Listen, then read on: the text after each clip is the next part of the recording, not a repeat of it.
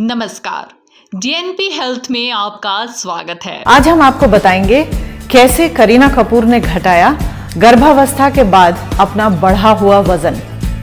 जानी मानी अभिनेत्री करीना कपूर ने गर्भावस्था के बाद अपना बढ़ा हुआ 18 किलो वज़न काफ़ी हद तक कम कर लिया है। हम आपको बता दें कि वे पूरी तरह से देशी आहार पर निर्भर हैं।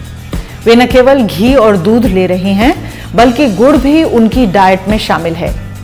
आइए जानते हैं कि गर्भावस्था के बाद शरीर की देखभाल के लिए करीना और उनकी डाइटिशियन क्या टिप्स दे रही हैं। वज़न बढ़ा, लेकिन उन्होंने नहीं की चिंता। बेबो ने हाल ही में एक चर्चा के दौरान कहा कि अपने बेटे के जन्म के दौरान उनका वज़न बढ़ा, लेकिन उन्होंने इसकी चिंता नहीं की। क्योंकि सबसे पहली प्राथमिकता उनकी संतान थी। बेबो ने कहा, मैंने अपने बेटे तैमूर को काफ़ी ऊर्जा और उत्साह के साथ जन्म दिया।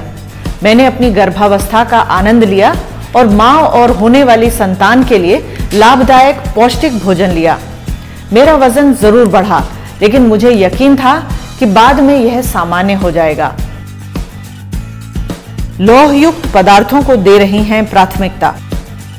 बेबो की डाइटिशियन रुजुता दिवेकर ने बताया कि अब ट्रेडमिल पर 30 से 40 मिनट चलने के अलावा करीना के भोजन में ऐसे पदार्थ शामिल हैं जो कि आयरन युक्त हैं, जैसे कि गुड़, नारियल के लड्डू आदि।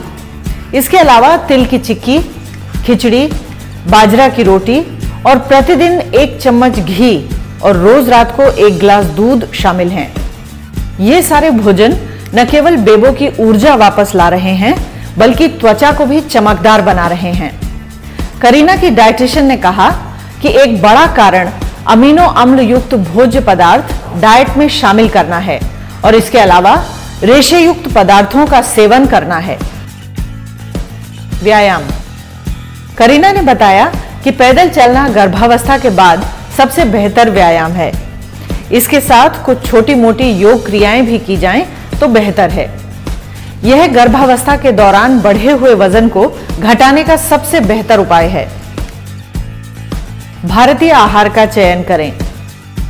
करीना के अनुसार प्रसव के पश्चात पश्चिमी या तात्कालिक डाइट के बजाय भारतीय खान पान पद्धति अधिक लाभदायक है और इसीलिए वे घी, गुड़, दाल, बाजरा और चावल को प्राथमिकता दे रही हैं। अपने शरीर को पूरा वक्त दें। करीना ने बताया कि वे अपने शरीर को पुरानी अवस्था में लाने के लिए पर्याप्त समय दे रही हैं।